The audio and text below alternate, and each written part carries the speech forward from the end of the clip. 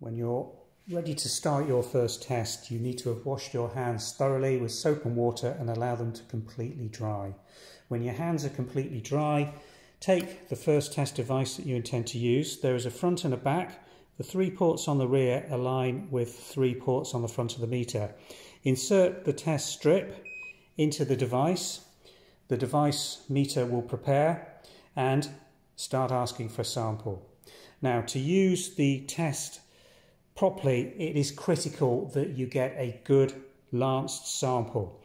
We're going to show you how to use these safety lancets that are supplied with the test strips in packs of 10 and to transfer the blood you use one of these little capillary tubes to take the sample and put it into the testing device. To do a lance use the side of your finger not the flat. Make sure your finger is warm and well perfused.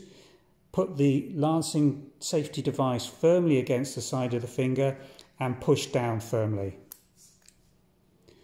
The lance will automatically pierce the finger and a small droplet of blood will form. When that occurs, wipe the first droplet away and allow the second droplet to form naturally on the tip of the finger.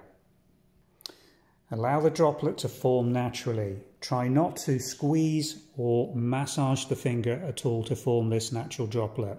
And then take the pipette and apply it to the blood sample.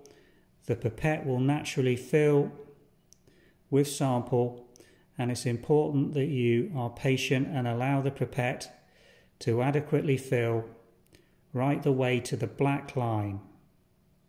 Keep feeding the blood into the little pipette until the sample reaches the back line, just by applying and removing the pipette from the sample of blood as it forms on your finger. When you reach the black line on the pipette, no further blood will be taken up. So take the pipette and vertically feed the sample by squeezing the bulb into the sample well. The meter will now start to analyse the blood sample and this can take anything up to two minutes. So I'm going to stop the video and come back and show you the results when the meter has analysed this blood sample. The key elements of what we have shown you there is to allow that sample for testing to form as naturally as possible without having any massage or squeezing of the fingertip.